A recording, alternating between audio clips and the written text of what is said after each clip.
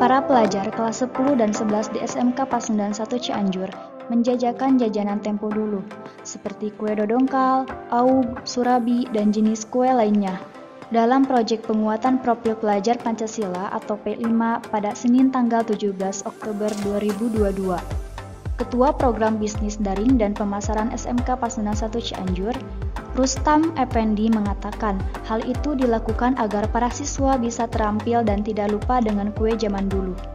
Diadakannya kegiatan tersebut diharapkan akan membangkitkan semangat anak-anak untuk belajar dan lebih kreatif lagi ke depannya dalam memanfaatkan waktu pembelajaran di sekolah.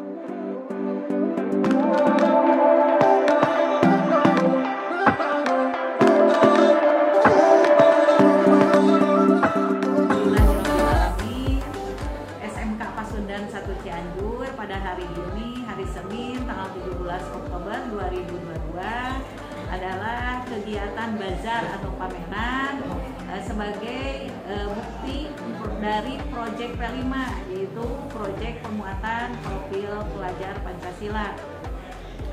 Di mana yang diharapkan dari P5 tersebut adalah eh, nilai-nilai e, karakter di dalam profil pelajar Pancasila itu tertuang dan mudah-mudahan menjadi penerapan yang nantinya salah satunya yaitu eh, tidak adanya perundungan dan tidak adanya kekerasan di antara eh, para pelajar.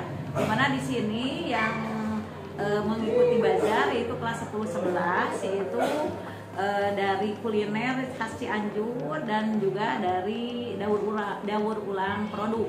Dari produk yang memang tadinya sampah rongsokan menjadi sesuatu yang berguna.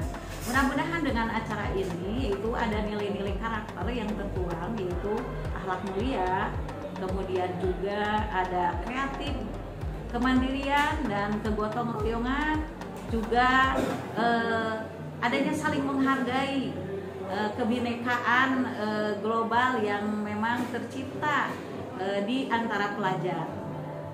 Itu yang diharapkan dari P5 tersebut. Sehingga yang namanya perundungan dan kekerasan itu tidak ada.